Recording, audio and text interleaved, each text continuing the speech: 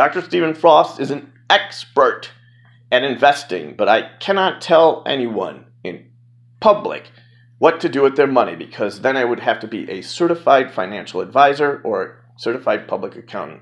Only they can go and tell you what to do with your money because they have the expertise and I don't have that level of expertise because I would need a degree for that.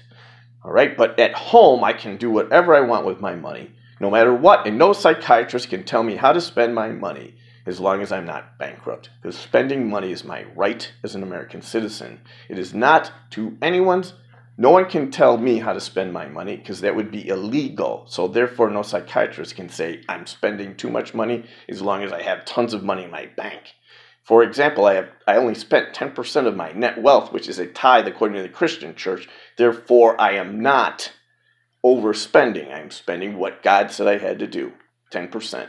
And that includes the investment in Rockford. So therefore, I'm not overspending. Therefore, that would be a misdiagnosis or a lie. Second, I'm an expert contract lawyer.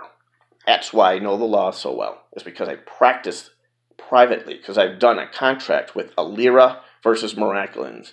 Six million dollar company with a six billion dollar corporation, and I wrote a six month contract and did all the negotiations all by myself with a few other people. But I wrote it without any assistance, and it did not need a lawyer except to check it at the end to verify that it was good because that's how good I write. Plus, in one week, I did a grant that said it couldn't be done between some country called Israel in Canada. See, Israel government likes me because they said it couldn't be done. And then I did it. So the Israeli government is my friend. See, Israeli government. What is an Israeli government class? Um, um, do you know who the president? No. Israel's president is Netanyahu. Repeat after me. Netanyahu. Netanyahu? That's right, Israel. They live way across the sea. Really?